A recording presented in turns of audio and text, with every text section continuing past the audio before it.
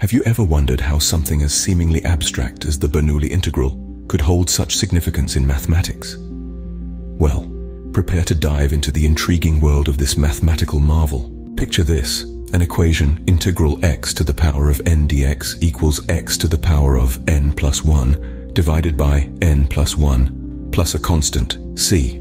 This, my friends, is the general form of the Bernoulli integral, named after the 17th century mathematician Jacob Bernoulli. This integral holds a special place in calculus, probability, and combinatorics. So, how does one derive this formula? The method is called integration by parts. Sounds complicated, right? But fret not, as we're going to break it down step by step. Now, the Bernoulli integral is a particular instance of something known as the gamma function. This function is defined for all real and complex numbers, barring negative integers and zero. It's usually denoted by gz, where z is the argument of the function. This gamma function has several intriguing properties. For instance, g1 equals 1, gn plus 1 equals n factorial, and g1 half equals the square root of pi.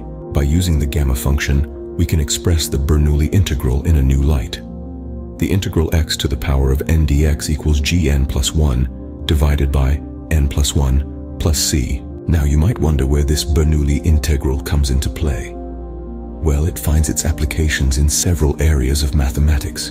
For instance, it's used in the development of the Stirling approximation, a formula for approximating the factorial function. It's also utilized in the study of probability distributions, such as the binomial and Poisson distributions.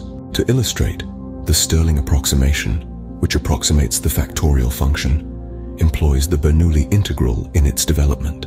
The binomial distribution, a probability distribution that describes the number of successes in a sequence of independent trials, derives its probability mass function using the Bernoulli integral. Similarly, the Poisson distribution, a probability distribution that describes the number of events in a fixed interval of time or space, also uses the Bernoulli integral in deriving its probability mass function. In conclusion, the Bernoulli integral is more than just a mathematical curiosity.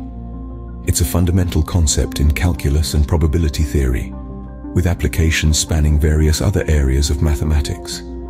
Its power and versatility make it an invaluable tool in the mathematical world, proving that sometimes even the most abstract concepts can have the most profound implications.